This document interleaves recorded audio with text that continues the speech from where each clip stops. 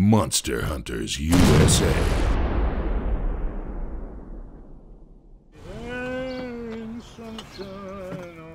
Shadow. Oh, Danny boy. Oh, da- oh, hi there. I'm Robert Daily, your host of Monster Hunters USA.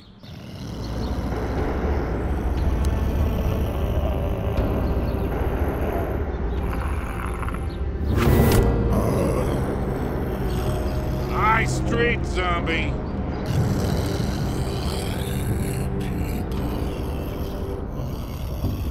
You got problems with monsters? We're there for you. Uh, this, yeah, I, uh, well, it's a tough economy, and I had to get some side work. Oh, I'm Zara Daily, Robert's daughter and partner in crime. People say I'm tightly wound. Whatever. Lighten up, people. I'm intuitive. I feel the earth. You know, like meditation, yoga, gluten free, oneness personified. Right? Anyway, things are working out great. Except when some of these new guys on the block mooch our gigs. Do you hear that? I hear you, little bastards. But I look on the bright side. No negativity. Die, spawn of Satan!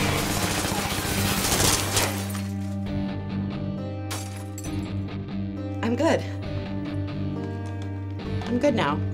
Did I mention I hate roaches? Uh, that, uh, like I said, times are a little tight and uh, had to branch out.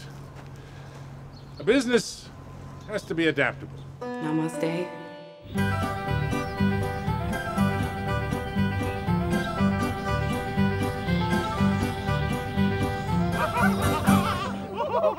I don't know why when we run, we laugh. Do you? I, I don't know. I can barely breathe. It's so annoying.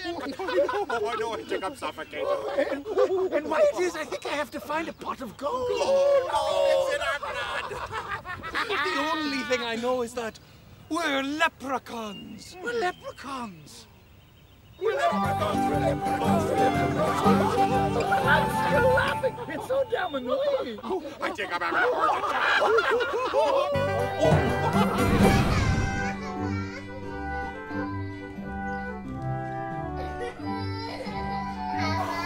Kids.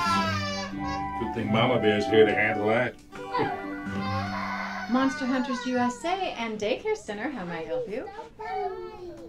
Oh, well, yes, yes. Well, of course, Monster Hunters USA handles all types and kinds of leprechauns, mutant or otherwise. We do leprechauns, right? Sure. Leprechauns? Uh huh.